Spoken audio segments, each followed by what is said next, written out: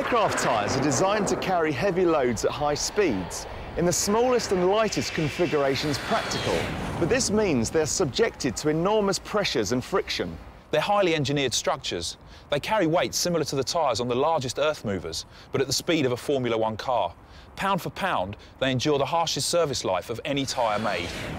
On takeoff, the load on aircraft tyres makes them heat up to temperatures of between 130 and 150 degrees centigrade. Dunlop Aircraft Tyres in Birmingham has been designing and making aircraft tyres since 1910.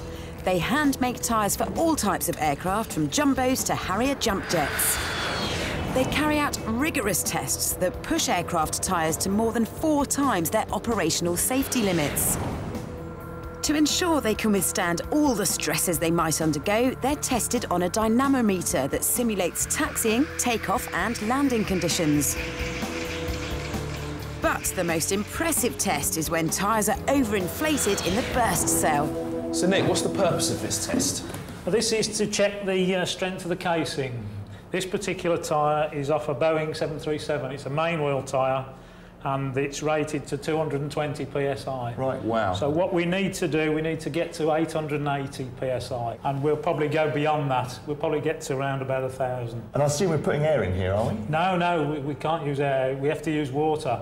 If we used air, the, the volume of air that would be generated in here would cause a tremendous bang, and it would probably destroy most of the surrounding buildings. The last time an aircraft tyre was overinflated with gas here at Dunlop was in the 1960s, and here's what's happened. It's never been done since.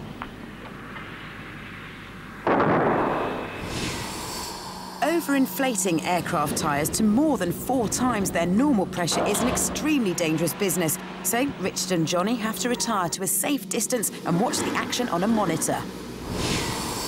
It takes nearly 10 minutes to fill the tyre to just its normal operating pressure of 220 psi.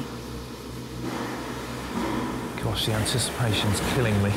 Exciting, isn't it? Yeah. To overinflate the tyre, the water pressure is stepped up a gear and is pumped hydraulically into the casing. I'm not missing this moment. No. I'm, I'm glued to Yeah, this now. don't look away, because you know if you do. This is, this is a once in a lifetime opportunity to see this. The pressure is building. Nick, how are we doing on pressure? We're, we've reached the minimum that we require. We've done 880, are we? Yeah, we have, yeah. I think we're probably about 900. We're, we're coming up to 900.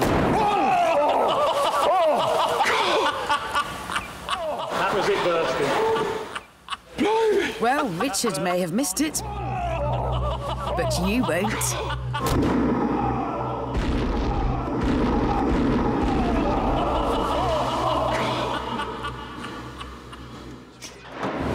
Pressure were we at? We're at 905 psi. 905? You'd like to go in? Because when I turn around to you... Wow!